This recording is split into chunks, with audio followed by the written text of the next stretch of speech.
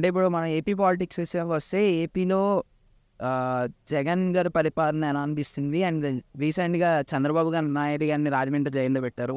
దాని మీద నీ అభిప్రాయం? ఇప్పుడు జగన్మోహన్ రెడ్డి పరిపాలన బాగుంది. చంద్రబాబు నాయుడు గారు ఎందుకు అరెస్ట్ చేసి ఉంటారు అంటే అంటే ఇప్పుడు కేసును బలంగా ఉందంటే దానికి కావాల్సిన ఎవిడెన్స్ ప్రూఫ్స్ అన్నీ ఉన్నాయి కాబట్టి అరెస్ట్ చేస్తారు తప్ప నార్మల్గా అయితే అరెస్ట్ చేయరు కదా. ప్రూవ్ చేయలేకపోయారు కానీ జైల్లోంచి బయటికి రానివ్వట్లేదనే ఒక వ్యాఖ్యలు కూడా గట్టిగా వినిపిస్తున్నాయి ఎందుకంటే లోకేష్ కూడా చెప్పాడు ఏదైతే ప్రూఫ్స్ ఉన్నాయో మేము చూపెడతాం నీకు అన్ని. ఎలా స్కిల్ డెవలప్మెంట్ ఏమి ఏం జరిగిందని. కానీ మీ మీరు మాకు ఎందుకు చూపెడతలేదు? మీరు ఏ ప్రూఫ్స్ మీద అరెస్ట్ చేశారనేది ఎందుకు చూపెడతలేదు చెప్పేసి చ- లోకేష్ గారు ఈయన కూడా ఫైట్ చేయడం జరిగింది. కాదండి ఒక మాజీ ముఖ్యమంత్రిని అంత ఈజీగా అరెస్ట్ చేయడం అంటే మామూలు విషయం ఉండదు అది. అన్ని ప్లాన్గా పక్కడ్బందీగానే అరెస్ట్ ఉంటుంది. ప్లస్ ఇవన్నీ ప్రూఫ్స్ ఉండబట్టే అరెస్ట్ చేస్తారు తప్ప ఎవరో చిల్లర చిల్లరగా ఉంటే అరెస్ట్ చేయరు. ఆ ప్రూఫ్స్ ఎందుకు లేకుంటే ఇప్పుడు జడ్జి ఎందుకు బెయిలేరు చెప్పండి? ప్రభుత్వం కేసు ఇప్పుడు ప్రభుత్వం కేసు పెట్టింది. ఆ ప్రభుత్వం కేసు పెట్టినప్పుడు వీళ్ళు వాదించవచ్చు కదా? ఈ వాదనలు కరెక్ట్ ఉన్నప్పుడు నెక్స్ట్ వెంటనే బెయిల్ ఇవ్వాల్సిందే కదా? జడ్జి కానీ రిమాండింగ్ తరలించినారు ఒక్కసారి రిమాండ్కి ఇచ్చినారు. సరే మన మూడు నాలుగు నాలుగు సార్లు రిపీట్గా ఎందుకు రిమాండ్ ఇస్తున్నారు? దాన్ని ఆలోచించాలా? దాన్ని ఆలోచించుకోకుండా మనం కేసు అయింది కదా కేసు అంటే కేసు కంపల్సరీ అవుతుంది. కేసు ఉంది కాబట్టే కదా బలంగా ఉంది కదా. సాక్ష్యాలు బలంగా ఉన్నాయి కాబట్టి బెయిల్ ఇవ్వట్లేదు కదా. అది ఇప్పుడు టీడీపీ జనసేన రెండు కలిసి రాబోతున్నాయి. జనసేన కూడా ఒక పక్కన జనాద జనాదరణ చాలా గట్టిగా ఉంది. సో జనసేన టీడీపీ రెండు కలిసి వస్తే జగన్ ప్రభుత్వాన్ని కూల్చే అవకాశాలు ఉన్నాయా లేవా? జగన్ ప్రభుత్వాన్ని కూల్చే అధికారము జగన్ ప్రభుత్వాన్ని ప్రజలు కూల్చాలేమో కానీ ఈ రెండు పార్టీలు అయితే కంపల్సరీ కూల్చలేవు కూల్చబోవు కూడా. ఎందుకు చెప్తున్నానంటే నేను జనసేనకి ఎన్ని సీట్లు ఉన్నాయండి ఎమ్మెల్యేలుగా? ఉన్న ఎమ్మెల్యే పోయినాడు. ఆ? క్యాడర్ ఉంది నువ్వు జనసేన పార్టీని నేను ఒక సింపుల్ ఒక లాజిక్ చెప్తా. నూట డెబ్బై స్థానాలు కానీ నూట డెబ్బై స్థానాలు నిలబడు నిలబడండి. మీరు ఏడు నిలబడుతుంది లేదు కదా? ముప్పై సీట్లకి ఇరవై సీట్లకి మీరు ఎవరితోనో భిక్షం వేసుకుంటున్నారు. అది కాదు కదా? తెలంగాణలో ముప్పై సీట్లు ఏపీలో ఫుల్ ఫ్లెజ్డ్గా లే లే లేదు. మళ్ళీ మా చంద్రబాబు ఎందుకు కలుస్తారు? చంద్రబాబు నాయుడుతో ఎందుకు కలుస్తున్నారు? అంటున్నా. మేము ఏమంటున్నామంటే నీ సింగిల్ ఎజెండా ఉన్నప్పుడు సింగిల్ ఎజెండాతో పోరాటం చేయి. పార్టీ అనేది ఇప్పుడు చంద్రబాబు నాయుడు కోసము చంద్రబాబు నాయుడు భుజాలు ఎత్తి పైకి లేపడం కాదు కదా? పార్టీ అంటే నీ కార్యకర్తలు క్యాడర్ అంతా ఏం కావాలా? నాకు తెలిసి ఈడ కూడా ఏమి అంత సీన్ లేదు ఈడ జనసేనకి. ఇక్కడ పోటీ చేయడం సీన్ లేదు. బీజేపీకి సపోర్ట్ ఇస్తుంది. ఒక రెండు స్థానాలు కూడా అవి కూడా పోటీ చేయరు. వాళ్ళకి ఏంటంటే పవన్ కళ్యాణ్కి స్టాండ్ లేదండి. పవన్ కళ్యాణ్ స్టాండ్ ఉంటే కానీ అసలు ఇంతవరకు రాదు. ఎప్పుడో ఆయన కొంచెం ఒక మెజారిటీ పీపుల్గా ఒక పది ఇరవై స్థానాల్లో నిలబడి బ్రహ్మాండమైన ప్రతిపక్ష నాయకుడుగా ఉండేటోడు. ఆ స్థానానికి చంద్రబాబు స్థానాన్ని నేనే తీసుకునేటోడు. ఈసారి మినిమం మినిమంలో సీట్లు కూడా రావంటారా జనసేనకి? నేను రావాలని నేను కోరుకుంటున్నా. యాజ్ అపోజిషన్ ఉండాలని నేను కోరుకుంటున్నా. కానీ ఈ స్టాండ్ ఏమైంది? నీ స్టాండ్ ఉండాలి కదా. ప్రజలు అది చూస్తున్నారు అంటున్నా నేను. రెండు స్థానాలు పోటీ చేశారు. రెండు స్థానాలు ఓడిపోయారు. ఫస్ట్ ఏమన్నారు? అనంతపూర్లో పోటీ చేస్తాను అన్నాడు. అనంతపూర్లో పోటీ చేయలేదు. అంటే మీకు వి- ఒక స్టాండ్ అనేది లేనప్పుడు ప్రజలు ఏం చేయలేరండి. ఒక స్టాండ్ విధి విధానం ఉంటే ఎప్పుడైనా కానీ ప్రజలు విన్ చేస్తాను నేను చిరంజీవి గారు పద్దెనిమిది స్థానాలు ఎట్లా గెలిచినారు మళ్ళీ ఈయన మొత్తం స్థానాలు పోటీ చేస్తాను కదా పద్దెనిమిది స్థానాలు గెలిచిండేది. ఆయన గెలిచినాడా విన్ అయినాడా సీఎం అయినాడా కాదు. ఒక బలమైన నాయకుడిగా నిలబడినాడా ఎడ్జ్ అయినాడా లేదా? అది దాన్ని మేము కోరుకుంటున్నాం అంటున్నా జనసేన తరపున. ఇప్పుడు జగన్ ప్రభుత్వం చూసుకుంటే ఈ నాలుగేళ్ళ పరిపాలన చూసుకుంటే నీకు పరిపాలన ఏది ఏం ఏ- ఏం బాగుంది అనిపించింది?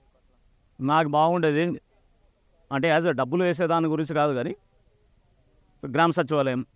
గ్రామ సచివాలయ పరిధి ఎంత ఉంటుంది? మూడు నాలుగు కిలోమీటర్ల లోపల ఉంటుంది. ఆ గ్రామ సచివాలయంలో ప్రతి ప్రజలకి పని జరుగుతుంది అక్కడ ఆ పని జరిగినప్పుడు ఆ ప్రజలు సంతోషంగా ఉంటున్నారు లేదని ముఖ్యము. వాలంటీర్ వేస్తుంది. ముసలిలో బయటకు పోయి పెన్షన్ తీసుకోవాలంటే ఇబ్బంది అవుతుంది. డైరెక్ట్ వాళ్ళకి ఇస్తుంది పెన్షన్. వికలాంగులకు అంతే పరిస్థితి.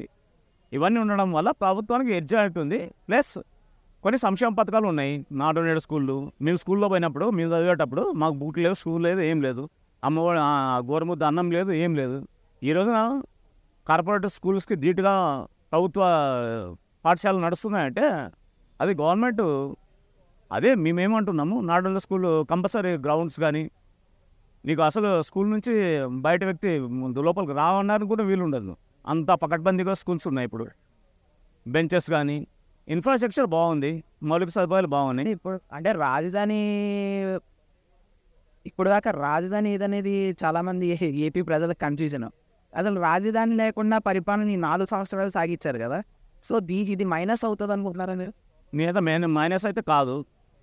ఎందుకంటే ఇప్పుడు చంద్రబాబు నాయుడు ఉన్నారు. అమరావతి చంద్రబాబు నాయుడు పాలనలో అమరావతిని రాజధానిగా అనౌన్స్ చేశారు. చూసుకున్నట్లయితే అమరావతిలో హైకోర్టు తెచ్చారు. తర్వాత అమరావతి ఇన్స్టా ఇన్ఫ్రాస్ట్రక్చర్ అంతా మారింది. కంపెనీస్ పెట్టుబడులకు వచ్చినాయి. తర్వాత జగన్ ప్రభుత్వం రాగానే అమరావతి పనులన్నీ ఆగిపోయినాయి. పోలవరం చూసుకోండి. పోలవరం అరవై శాతం ఫినిష్ చేశారు. జగన్ టీడీపీ హయాంలో. మిగిలిన నలభై శాతం ఈ నాలుగు సంవత్సరాలు నలభై శాతం కూడా అవ్వలేదు. ఎందుకు అవ్వలేదు అంటావు? అంటే పోలవరం బాగుంటే కొన్ని లక్షల మంది రైతులకి నీళ్ళు వస్తాయి.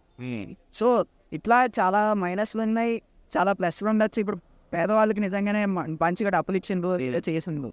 ఇప్పుడు మధ్యతరగతి కుటుంబాలకు తీసుకుంటే వాళ్ళకి కొన్ని ఫెసిలిటీస్ సరిగ్గా లేవు. జగన్ ప్ర- ప్రభుత్వం సో దీని మీద మీ అభిప్రాయం ఏంటి? ఇప్పుడు మీరు పోలవరం అన్నారు కదా పోలవరం ఫస్ట్ ఎవరు స్టార్ట్ చేశారు? మాజీ ముఖ్యమంత్రి టి అంజయ్య. వయసు రాసేటట్టు కూడా కాదు. మాజీ ముఖ్యమంత్రి టి అంజయ్య ఆయన తెలంగాణ వ్యక్తి. పోలవరం యూనిట్ కడితే బాగుంటుందని చెప్పేసి ఆయన ప్లాను ఇదో నాదెండ్ల బాగా వేసాం ఆడ చేసినారు. అది అంతా మరుగునబడి మరుగునబడి రెండు వేల నాలుగులో పోలవరం వైఎస్ఆర్ శంకుస్థాపన చేశారు. చంద్రబాబు టైంలో పని కాలేదంటే అయ్యింది కొంచెం కొంచెం అయ్యింది. కొంచాన్ని వేసుకొని మనము మొత్తం అరవై శాతం అయిపోయింది. అరవై శాతం అయిపోతే నలభై శాతం చేసిన ఎంతసేపు ఎందుకు పడుతుంది? డయాఫ్రామ్ వాళ్ళు క్యాపర్ డ్యామ్లు నిర్మించలేదు. నది నదిని డైవర్ట్ చేయాలి కదా ఏదైనా కానీ ఆ స్పిల్వేలు నిర్మించలేదు. అవన్నీ ఏంటంటే సోపు టప్పు భజన. ఎప్పుడు భజన భజన భజన చేయాలా? భజన కాదు. ప్రజలు ఆడ పోయినాక ఏం మీటింగ్ అయింది? జయం జయం చంద్ర పాటలు విన్నారు. సీఎం గారు అదే కదా అసెంబ్లీలో వేసి చూపించింది అది నేనేమంటున్నా కరెక్ట్ ఆ ప్రాంతాల్లో పట్టు ఉండాలా ఎన్ని కోట్లు దోసుకున్నా తెలుసా మీకు? బస్సులు పెట్టించి ఆ బస్సులు ఎవరివి? వీలువే వీళ్ళ పార్టీ వాళ్ళవే. ఇప్పుడు కాదండి ఏమంటున్నా ఇప్పుడు నేను సింపుల్ చెప్తా పోలవరం గురించి నాకు అవసరం లేదబ్బా. నేను ఒక ఒక్క నిమిషం నేను పోలవరం గురించి నాకు అవసరమే లే. ఆంధ్రవీవ ప్రాజెక్టు నా ఏరియాలో మా ప్రాంతంలో వస్తుంది ఆంధ్రవీవ రాయలసీమకి. అది అసలు మామూలు ప్రాజెక్ట్ కాదు. ఒక కాలువ పోతుంటే కాలువ నుంచి చిన్న కాలువలకు నీళ్ళు చెరువులకు నీళ్ళు భూగర్భ భూగర్భ జలాలు నిండుతున్నాయి. ఇవన్నీ నడుస్తున్నాయి. పోలవరం అసలు అవసరం లేదు? పోలవరం గురించి ఎంతగానో దన్నడాల్సిన అవసరం ఏముంది? అంటే చెయ్యాలి నేను కాదని అనట్లే బ్యాక్ వాటర్ని కుదురుతున్నాం మేము. శ్రీశైలం బ్యాక్ వాటర్ నుంచి రాజశేఖర పొదిరెడ్డిపాట అగ్రిగేటర్ని నిర్మించినాడు. అక్కడి నుంచి నీళ్ళు ఇబ్బంది అవుతుందని మున్సిపాలి చేసినాడు. ఆ మున్సిపాలిటీ వచ్చి ఈయన రిబ్బన్ కట్ చేసినాడు చంద్రబాబు నాయుడు. అవి ఎవరు చేస్తే ప్రభుత్వం ప్రభుత్వమే. ఓకే. మాకు వచ్చింది ఏముంది? మా చెరువుకు నీళ్ళు నిన్నే మా భూ- భూగర్భ జలాలు నిన్నాయి ఈ రోజు నేను నిన్న మొన్న పోయి చూసిన ఊర్లో ఫుల్ ఫ్లెడ్జ్ కూడా నీళ్ళు పోతున్నాయి కాలువకి. అంతకు మించి ఏం కావాలి చెప్పు? ఒక ప్రాజెక్టు నిర్మిస్తేనే ఓ మొత్తం ఇది అయిపోతుందని కాదు. ఒక కాలువలు కానీ ఒక విధి విధానం ఉండాలి. మన రా జగన్మోహన్ రెడ్డి గారు మళ్ళీ ఆంధ్ర ఫేస్ టూలో కొన్ని చెరువులకు నీళ్ళు ఇస్తున్నాడు. అది Aluru constituency Pattikonda constituency Dhone constituency. ఆ కాన్స్టిట్యున్సీలో ఎంతో కొంత ప్రజలకి లబ్ధి చెందుతుంది కదా. మాకు కాలువ పోవడం వల్ల మాకు ప్లస్ అవుతుంది. నేను అన్న అదే నేను అనేది అదే. ఒక లీడర్కి ఉండాల్సిన కాన్సెప్ట్స్ కరెక్ట్గా వే విధ విధానాలుగా నేను చేస్తే దానికి బాగుంటుందని నా అభిప్రాయం. ఉద్యోగ అవకాశాలు చూసుకుంటే ఏపీలో ఉద్యోగ అవకాశం కరెక్ట్ అండి. ఇప్పుడు ఒక స్టేట్కి ఐటీ ఐటీ కెప్టెన్ ఉండాలి. మనకి ఏపీకి లేదు. వైజాగ్ అంటారు కానీ వైజాగ్లో కంపెనీస్ అదే అండి నీ అదే అండి నేనేమంటున్నా? ఉద్యోగ అవకాశాలు అయితే లేవులే. నేను కాదని అనట్లేదు. సచివాలయ ఉద్యోగాలు ఉద్యోగాలు కాదా? ఇరవై ఐదు వేలు శాలరీ అంటే ఉద్యోగ అవకాశాలు కాదా? రెండు లక్షల పోస్టులు అవి. ఐటీ ఒకటే ఐటీనా? కాదు కదా. ఇప్పుడు ఐటెక్ సిటీలో ఉంది. ఐటెక్ సిటీ రాత్రి రాత్రికి మొత్తం లక్షల కోట్ల ఉద్యోగాలు వచ్చినాయా? ఐటీలో? కాదు కదా. ఐటీలో టాలెంట్ ఉంటుంది. అది అగ్రవర్ణాలు కొంచెం అప్పర్ క్యాస్ట్ ఉన్న వాళ్ళకి వస్తాయి. సామాజిక వర్గాల పరంగా వచ్చేసి నో అలా ఉండదు. ఐటీ సెక్టర్ ఎప్పుడంటే ఇప్పుడు ఫర్ ఎగ్జాంపుల్ అమెజాన్ ఉందనుకోండి. కొన్ని లక్షల ఇప్పుడు హైదరాబాద్ ఇప్పుడు చంద్రబాబు నాయుడు ఉన్నప్పుడు ఇయర్ తెచ్చారు ఆ, అనంతపూర్కి వెళ్ళి తెచ్చారు. మా జిల్లాకే తెచ్చిండు. అవును అవును. జాబ్లు వచ్చినాయి కదా. అలా కంపెనీస్ తేడంలో విఫలమయ్యారు. నేను ఐటీ మీరు ఐటీ అన్నారు కదా ఐటీ గురించి చెప్తున్నా నేను. ఇండస్ట్రియల్ పరంగా మామూలుగా వస్తే ఎవరికైనా ఇస్తారు. ఐటీ సెక్టర్లో ఎవరు ఉంటారు అప్గ్రేడెడ్గా హై లెవెల్ ఉన్న ఉన్న సామాజిక వర్గాలు ఉంటాయి కాబట్టి ఆ కింద సామాజిక వర్గాలు తీసుకోలేదు. కూడా వచ్చింది.